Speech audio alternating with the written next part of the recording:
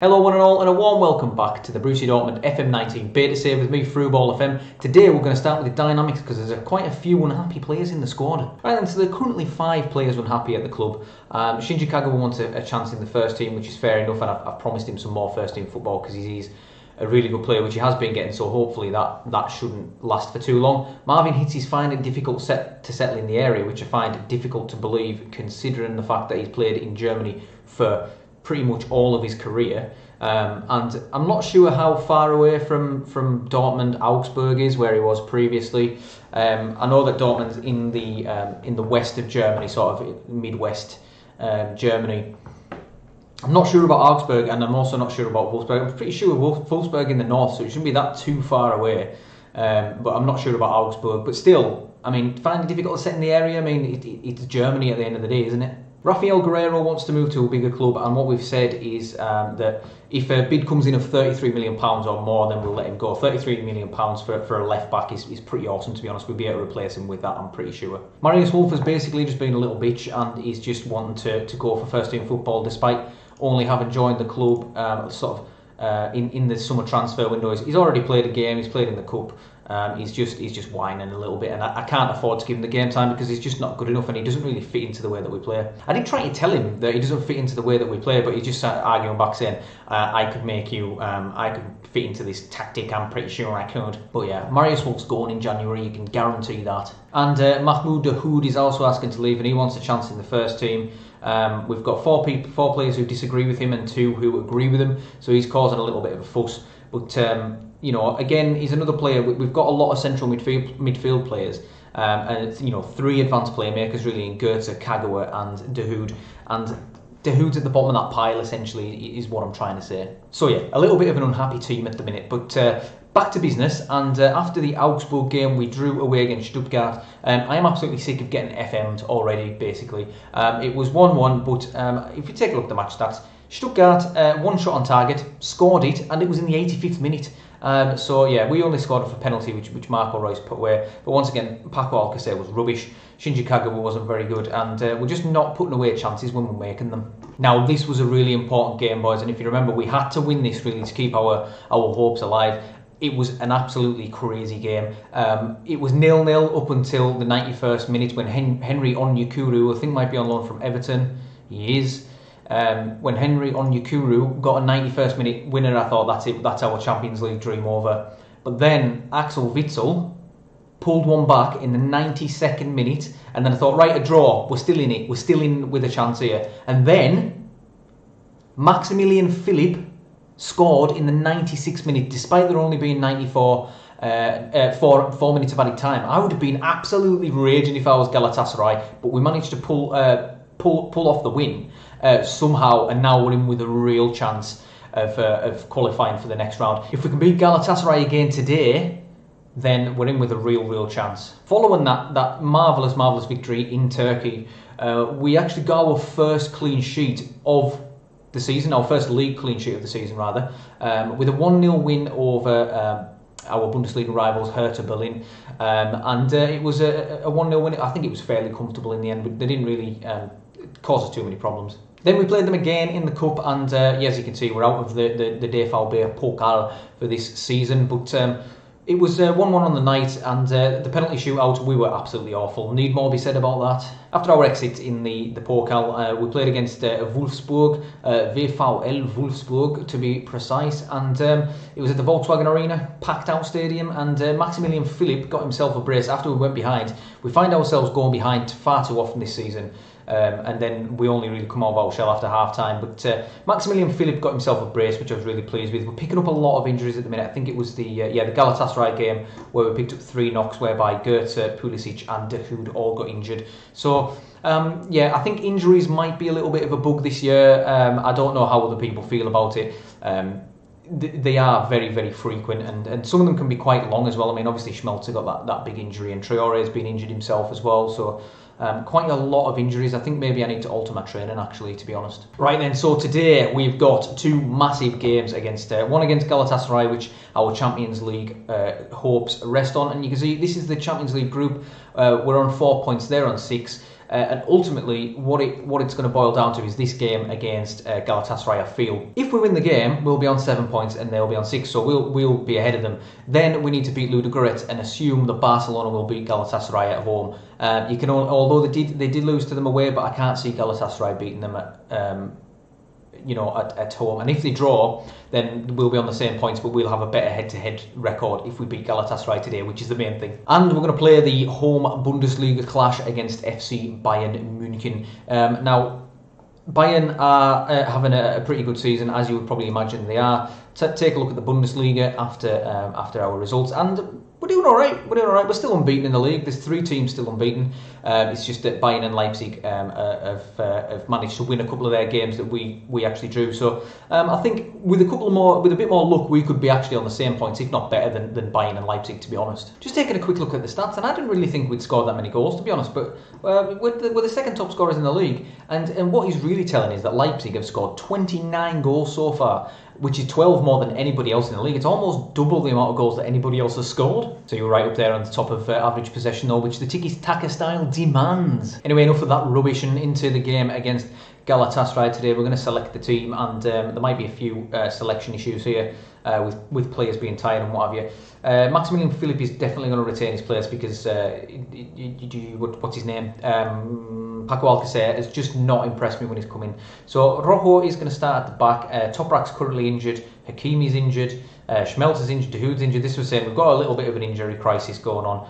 Um, and uh, Shinji Kagawa was very tired as well. So um, our team's looking tired, but it's looking like we're probably this is the team we're probably going to have to go with. Akanji and Guerreiro are getting very tired, and uh, they are in need of a rest, so they're not going to actually play today.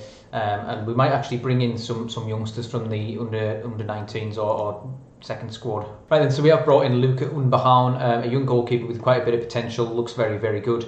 Uh, you can see for, for a 17 year old goalkeeper, he looks excellent. Also brought in this guy, Ramzi Fayani, to come in uh, as a substitute. He's still on a youth contract, but his, his mentals are very good for his age. Um, his head could do with a bit of a bit of work, but um, his physicals are okay. Uh, but he's going to be okay as a, as, a, as, a, as a substitute, essentially. Right, let's get into the game. It's been far too long. Uh, we need to give squad numbers to these guys. Right then, so they match us formation wise. Uh, there's Henry Onyekuru, who uh, scored past us in the first leg um, of this tie. Well, not the first leg, but the first match of this tie. So we need to watch out for him. Passionately say, uh, let's give the fans a performance they're expecting of us here uh, and get into the tunnel.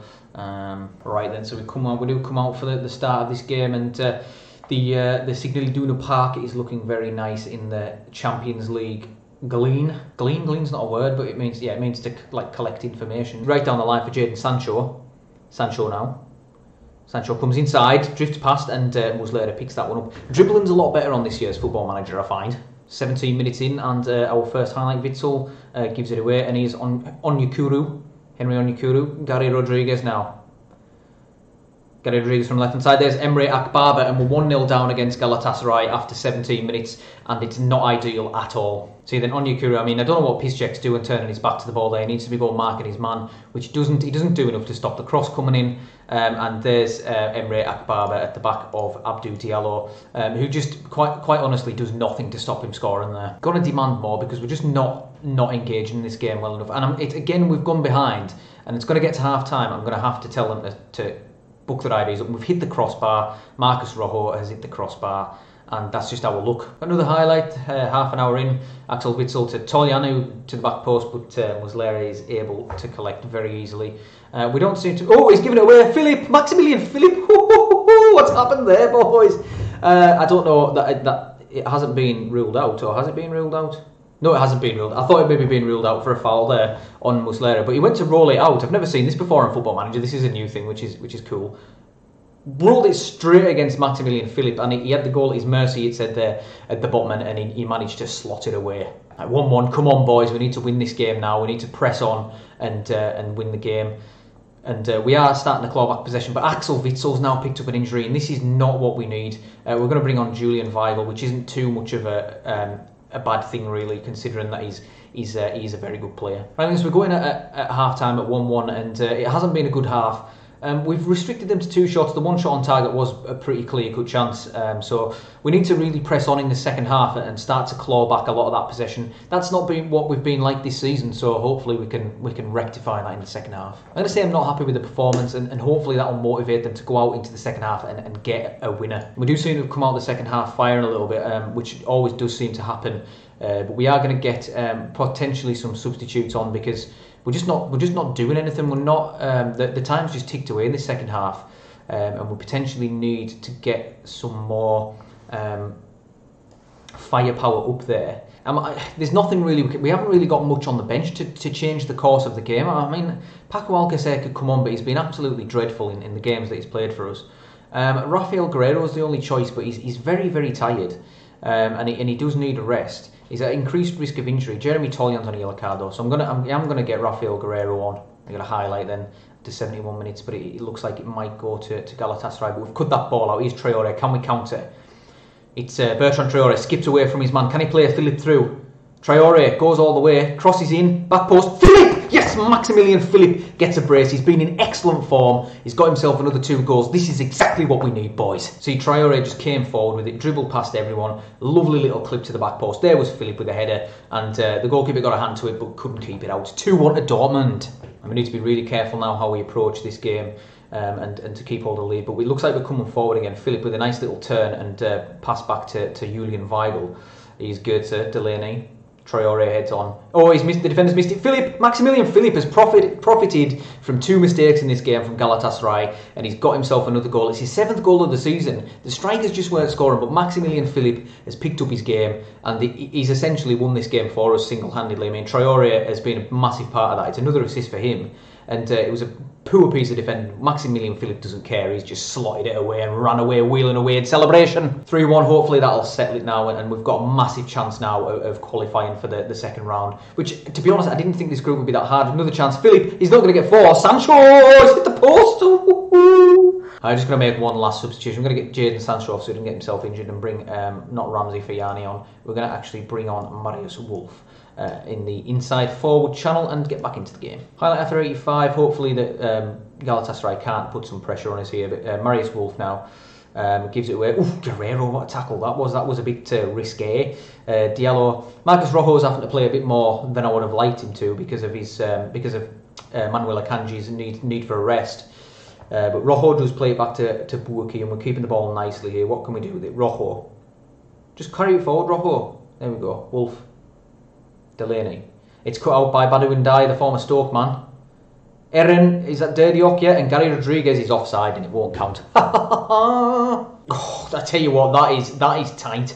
That is the definition of tight. It does look like we're going to see out the game now. 30 seconds left as Galatasaray come forward. Maicon the centre back tray up there. Emre back to Maicon. And uh, surely we can see this out now. It's good uh, Harry in there from uh, whoever that was. Muslera bashes it up the pitch. I think it's maybe Goetze. Serdar Piszczek cuts that out, plays it to Delaney, and it's nice and composed. No, it was Weigl actually who was doing that. So that's we have managed to see the game out, and it, it's three one. It's a fantastic result, really. It's exactly what we needed. Um, and Maximilian Philipp with a hat trick with some assistance from Bertrand Traore. So I'm really happy with that. Very pleased with the result and the performance. Let's get on with it. Right then, you can so you can see this is where that leaves us. Um, we've only scored five goals in the Champions League, and, and uh, uh you know, uh, five of them, all five of them have been against Galatasaray, which is quite funny. But uh, you know, yeah. So you see, we, we are we've got a superior head-to-head record now over Galatasaray, which is crucial. Um, we need to win this next game against uh, against Ludogorets. I think our next game might be against Barcelona actually, and then the final one will be against Ludogorets. But um, we also need Barcelona to do us a favour and beat Galatasaray. To be honest, it's okay if they draw, but um, we need them to beat them really. And then Maximilian Philipp got himself four goals over two matches against Galatasaray, which is magnificent. So Witsel's injured for two to four weeks, um, which is injured innocuously, a pulled calf muscle. Gonna have to leave that to the physio. We've got a massive, massive. Um, Rafael Guerreiro and Bertrand Traore are now rest, um, need a rest. But um, we've got massive injury problems going into this game against Bayern. Um, we're going to praise Maximilian Philipp's performance. He's superb in front of goal. Keep it up.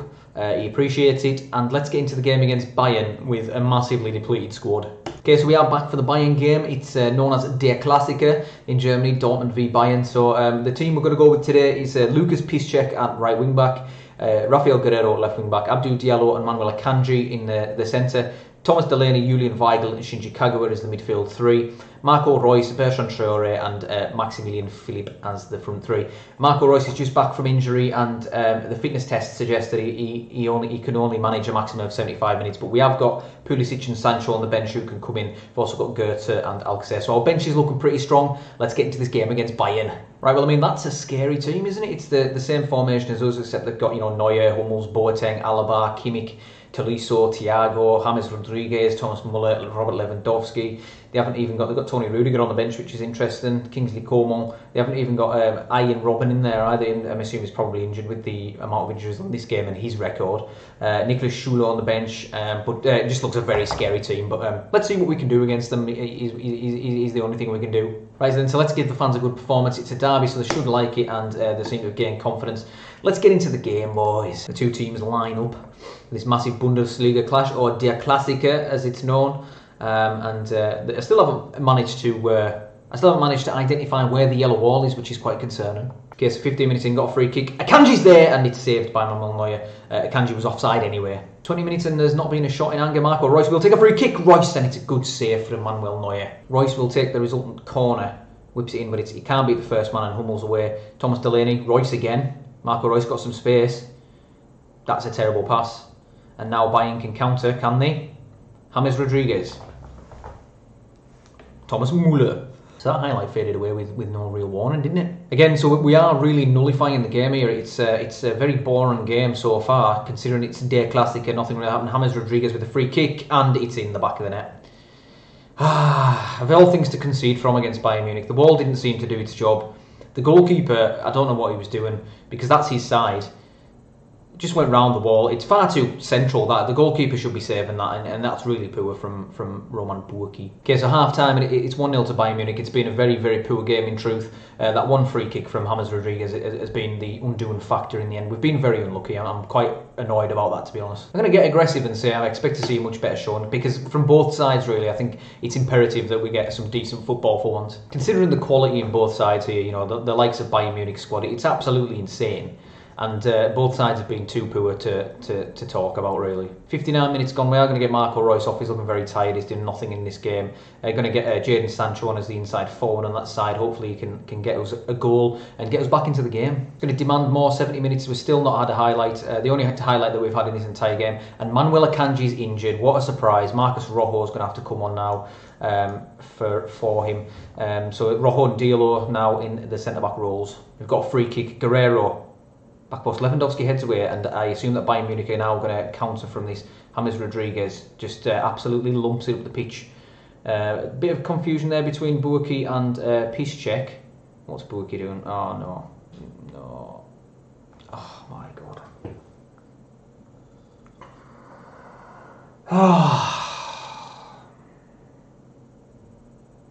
what can you do? What can you actually do to stop that from happening? What can you do? You can't do anything. That's absolutely ridiculous. 2 0 down and absolutely do not deserve to be 2 0 down. And Jadon Sancho's now got injured. This is so frustrating. Bloody Paco Alcacer is coming on as a last resort. I'm not even going to take Jadon Sancho off. He's injured. I don't care. I don't bloody care anymore. Highlight after 87 minutes, and it's, it's been a really poor game. I'm just absolutely incensed that Bayern Munich have found themselves 2 0 up in this game. We've absolutely gifted it to them. Um, and it's been two errors from from Roman Bürki, but we, we might have a chance here as uh, Shinji Kagawa now in the midfield. Uh, Diallo gives it away poorly. Now Traore tackled again, and uh, that looked a foul to me, referee. Diallo's done really well there. He's come right through Ribery, um, but Bayern Munich can continue to come forward. He's Thomas Muller. He just needs to pull it back. Diallo with an excellent interception, but uh, Kimmich now on the right hand side crosses in, back post, there's Ribery, it's 3 0, and it's absolutely ridiculous that they're 3 0 up in this game. It's it's unbelievable. So it looks as though our unbeaten run is coming to an end, which is, which is a shame, but I'm, I'm just I'm more upset about the fact that it's. Um, it's come to an end in this fashion. It's just it seems that, that Bayern Munich have just got away with absolute murder here, um, and it's just it's just you know this is a, it's not even an FMN because the, the game's been really even, but that's what makes it more annoying. The fact that the game's been even, yet yet they've come out 3 0 winners, it's absolutely ridiculous. The little commentary thing on the bottom as well has just has just added fuel to my fire. Um, it's just said that uh, Bayern Munich run out clear and deserved winners. Look at the stats. How does that say that they're clear and deserved winners? It, it doesn't. it, it, I don't know what football planet you're living on if you think that that's clear and deserved. I'm going to say the performance was disappointing, even though it wasn't. Um, it was just one of those days, actually, and they, they all look relaxed and motivated, which is pretty realistic because it was just one of those days. There's not much you can do when things like that go against you, is there? Right, and so now Manuel Akanji's injured for three to five weeks. It's, this is getting ridiculous. I've changed the training and it hasn't made an inch of difference, so um, I don't really know what, what you do about that. Jadon Sancho's out for a day. There's fitness, player fitness, fitness concerns because there's fitness concerns all the bloody time, isn't there? Right, so after that massively infuriating game, uh, we are going to come back for the Ludogorets game in the Champions League next. I think that's the most important game. The result against Barcelona is probably going to be um, a bit of a, a bit of a non-event, really.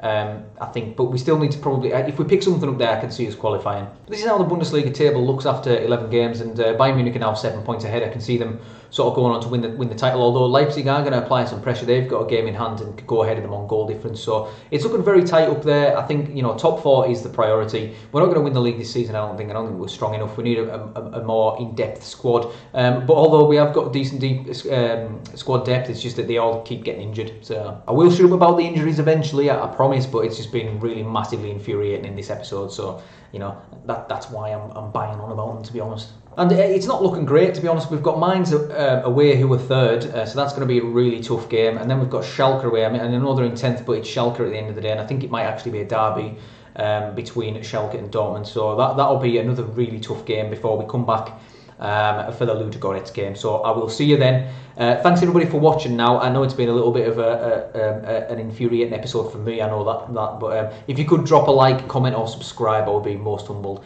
Thanks everyone again for watching now. Bye bye.